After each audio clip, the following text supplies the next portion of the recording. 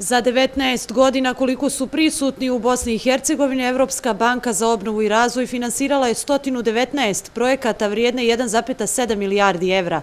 Predstavnici ove banke ne znaju koliko je projekata zapravo i uspješno završeno.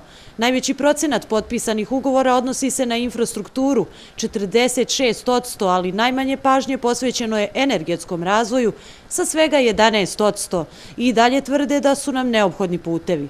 Ipak treba reći da je strategija od 2014. do 2017. napravljena tako da je fokus na investiranje u privatni sektor. Pogotovo privatno učestvovanje u infrastrukturalnim investicijama. Predviđanja su nam da će 2015. godina biti povoljnija za Bosnu i Hercegovinu kada je u pitanju porast, Sudeći prema izvještaju, inovativnost je od presudne važnosti za dugoročni rast i razvoj. Da li se i BiH može pohvaliti novim zaduženjima? To će građani najviše osjetiti na svojoj koži kada se krediti počnu vraćati.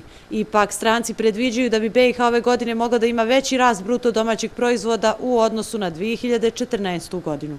Naša posljednja predviđanja, a ona su iz januara ove godine, ukazuju da bi rast BDP-a u Bosni i Hercegovini bio oko 2,7%.